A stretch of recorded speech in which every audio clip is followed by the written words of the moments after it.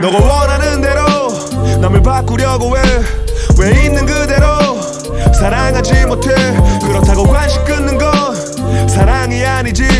정말 사랑한다면 자꾸 생각나겠지. 내가 얼마 버는지 가진 게 얼마짜린지 그런 건 가십거리지. 사랑은 아니지. 너가 뭘 좋아하는지 아니 뭐 원하는지 정말 사랑한다면 그게 궁금하겠지. 그건 사랑이 아냐 착각하지 마. 내가 바란 게 아냐 그렇게 날 대하지 마. 그건 사랑이 아냐 장난하지 마. 네가 맞는 게 아냐 우린 다른 거니까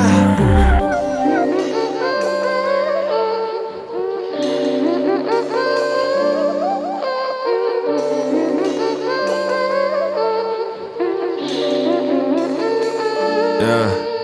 너무 이기적인 너의 호의는 내가 불편하게 느끼고 있으면 그건 착한 척을 하는 것일 뿐 내가 불쾌하게 느끼고 있으면 친절 바라면 너도 역시 그런 행동해야지. 주고받지 난 이런 사람이야. So what? 존중해야지 서로가. 바라지 않아. 너가 몰라준대도 만약 알아준다면 그걸로 된 거라고. 감정의 파도가 물결칠 때도 날 받아준다면 아마 잊지 못할 거야 그건 사랑이 아냐 착각하지 마. 내가 바란 게 아냐 그렇게 날 대하지 마. 그건 사랑이 아냐 장난하지 마. 네가 맞는 게 아냐 우린 다른 거니까. 이제 다 털어버리고 싶어. 꺼져버려 다 비켜.